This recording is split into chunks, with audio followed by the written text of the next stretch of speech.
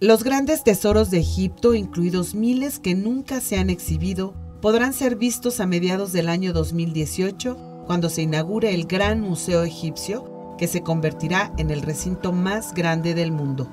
Concebido en el año 2010 por el despacho irlandés Hennigan Peng Architects, que encabeza el autor del diseño Shin Fu Peng, el nuevo Gran Museo del Cairo se construye en una superficie de más de 224 mil metros cuadrados.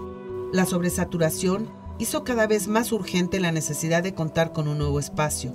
El Museo del Cairo, inaugurado en 1902, que está ubicado en la famosa Plaza Tahrir, considerado una joya arquitectónica de principios del siglo XX, se creó con la intención de albergar 12.000 objetos, pero hoy posee una colección de 150.000. La construcción del nuevo museo empezó en el año 2013. Será un escaparate de aproximadamente 100.000 artefactos del antiguo Egipto. El que será el museo más grande del mundo, cerca de las pirámides de Giza, retrasó su construcción luego de las revueltas y la revolución que se produjo en Egipto en el 2011, lo que aumentó sus costos a cerca de mil millones de euros.